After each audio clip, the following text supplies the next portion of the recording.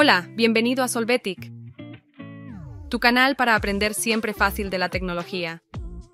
Abajo en la descripción puedes encontrar los enlaces de interés que usamos en el vídeo junto a los comandos que vas a ver a continuación.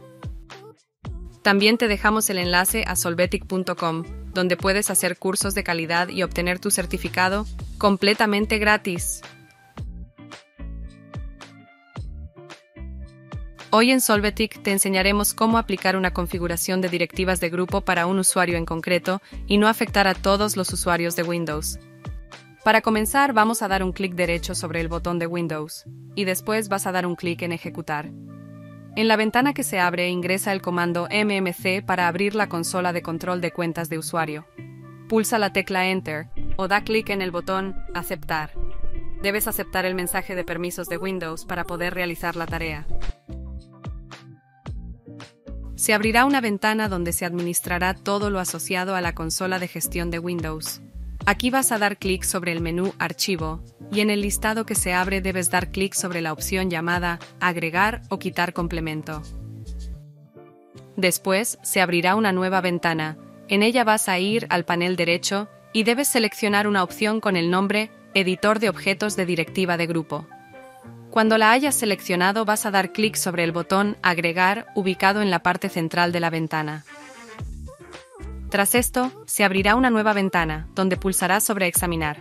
Ahora en esa nueva ventana, debes dar clic en la pestaña Usuarios. Allí vas a seleccionar el usuario deseado, al cual se le aplicará la política.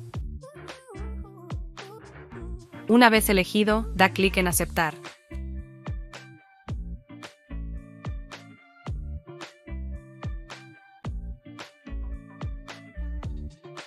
Después de esto, da clic de nuevo en Aceptar y podrás ver que se ha creado esta nueva política, pero solo aplicará a un usuario en particular. Ahora es momento de guardar este proceso.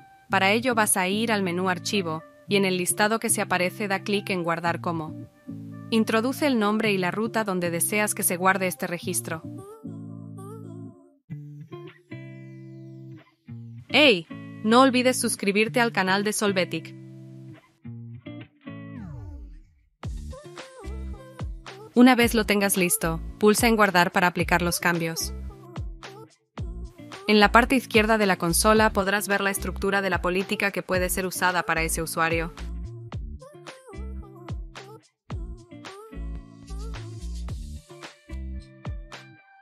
Esperamos que te haya sido de ayuda. Aquí tienes enlaces para ver más vídeos de tu interés y suscribirte al canal Solvetic. Gracias.